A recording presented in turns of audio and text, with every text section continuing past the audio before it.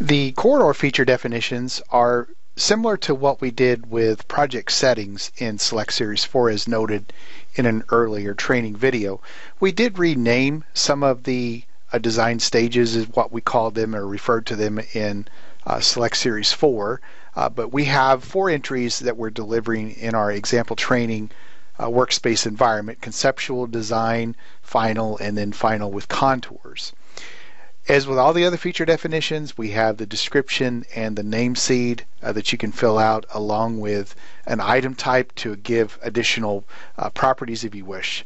But your, your primary settings are going to be under your display settings, uh, processing and critical sections, and manipulator settings. A lot of these you will recognize from Select Series 4, and then some of the entries may be new.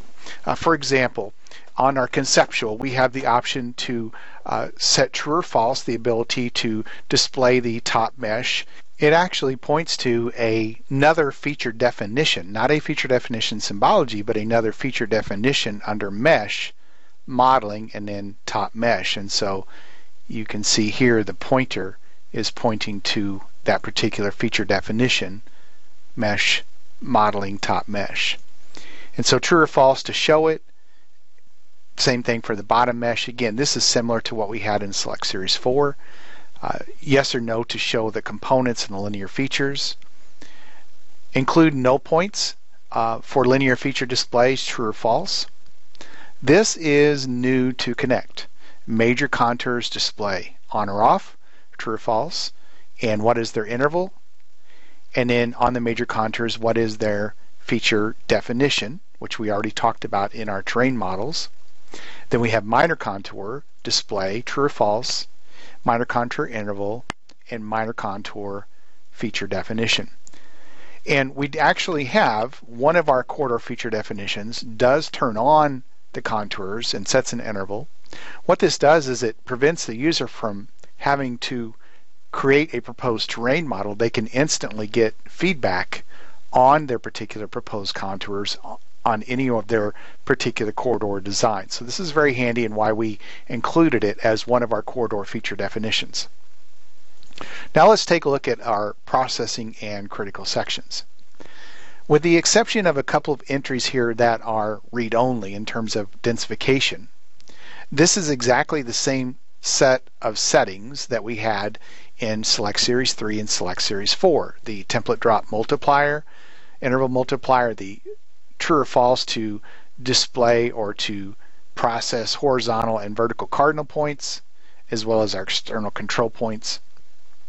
We have the densification of horizontal true or false, vertical true or false, and then a new one here is to enable clipping on a corridor. That is also new to OpenRoads Designer Connect Edition and so those are typically set to true. So for example, if we place civil cells and we want the civil cell to be able to clip the corridor, we can have this set to true and it will be clipped.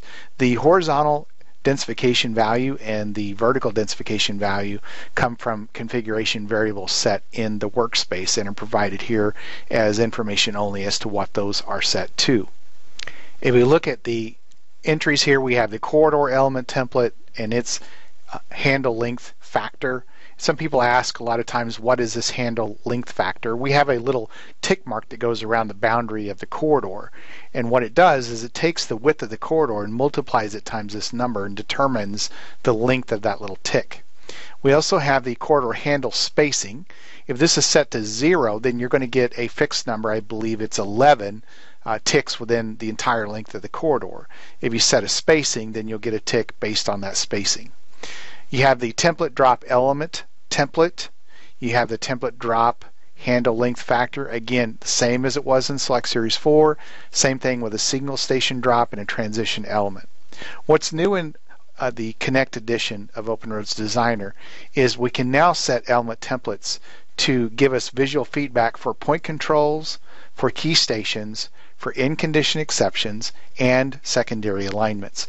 Not only can we set the element templates, but we can also graphically manipulate these station drop locations directly in our corridor design versus having to go back to the corridor objects dialog to change these values.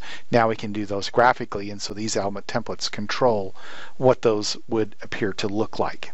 And those are all pointed to in our element templates. And so if we look at, for example, corridor graphics, and then I have a folder here called controls, we have uh, our end condition exceptions, our key stations, our point controls, and our secondary alignments.